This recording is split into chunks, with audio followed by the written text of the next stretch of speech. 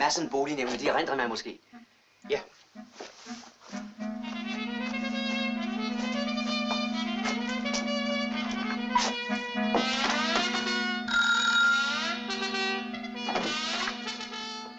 Undskyld, hvor, hvorfor gør de det?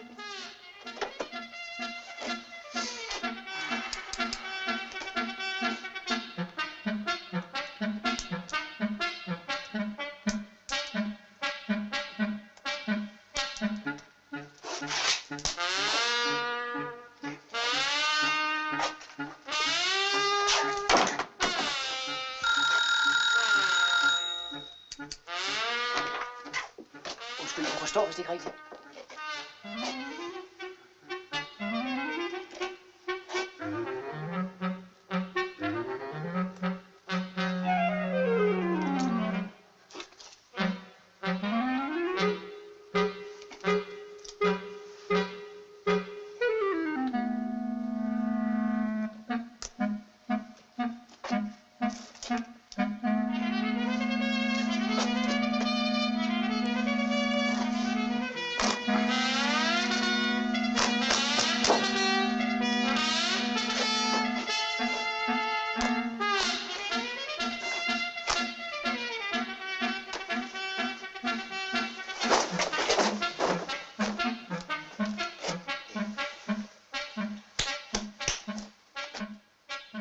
Tror ikke, der foreligger en misforståelse.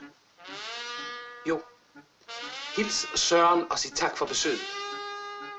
Søren.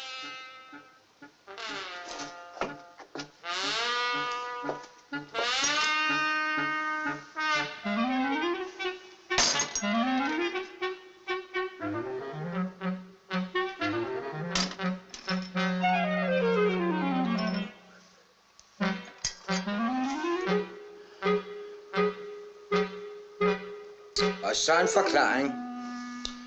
Madsen, Hvilken massen? bolignævnsmanden. Nå, ham. Han er en ægte statsautoriseret bolig, massen. Jeg har sagt til Lene. Har du slet ikke noget med ham at gøre? Mm-mm.